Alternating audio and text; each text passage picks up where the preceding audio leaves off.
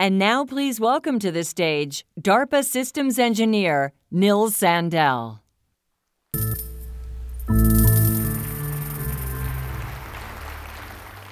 Morning.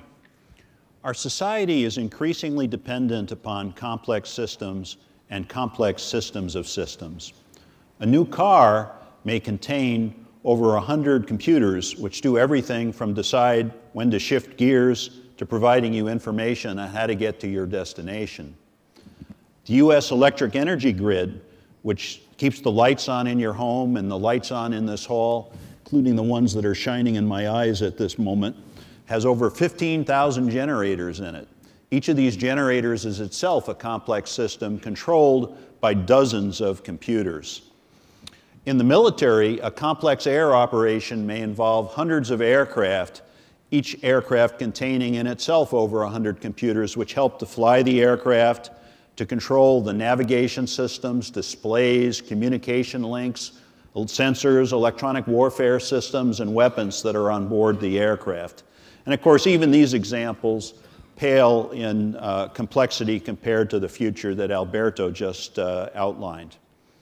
For a complex system of systems to do a task, the component systems have to exchange messages to be able to coordinate, and it's necessary that these systems understand the syntax and the semantics of these messages.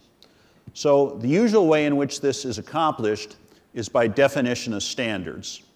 These standards may be local and proprietary to a given company, or they may be open and global like internet standards. In either case, they're generally documented in the form of text. So how do these standards get uh, defined?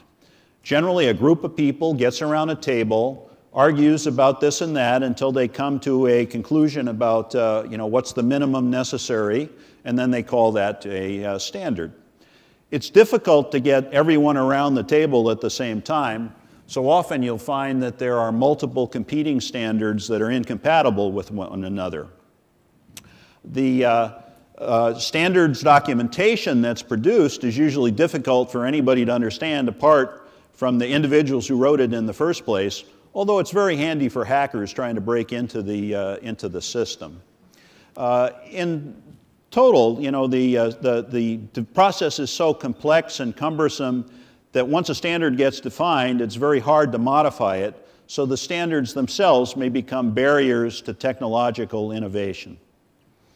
So in our research on complex systems design, DARPA has had a recent breakthrough that addresses uh, many of these issues. We've developed an approach that requires only pairwise agreement between system designers rather than a global group uh, consensus. And we think that this will address uh, many of the issues that I just outlined. So how does it work? We've developed a distributed graph structure that enables system designers to specify the maps, the semantic and the syntactic maps between data fields in messages.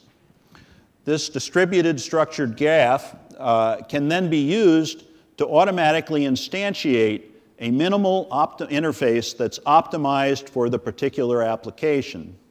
It's even possible by tracing through the links in this graph to construct an interface between systems where the system designers have never even talked to one another before. They haven't been in communication uh, uh, at all. We're able to use automated logic checking to be able to verify the consistency of the synthesized data paths. So uh, because of the fact that uh, the construction of the interface is machine generated, it's automated, we can actually build in state-of-the-art cyber defenses without any additional effort by the designers. So where are we on this technology? Uh, to date, it's been used in small-scale de de uh, demonstrations by the system designers. However, later this month, we're going to be evaluating this technology and similar technologies that have been developed under our program in systems engineering laboratory experimentations by third-party designers to evaluate the methodologies. Those that prove most promising will then be used in our flight experimentation program for further uh, validation.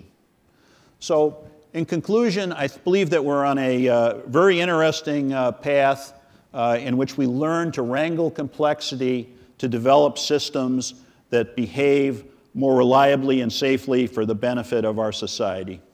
So thank you for your attention.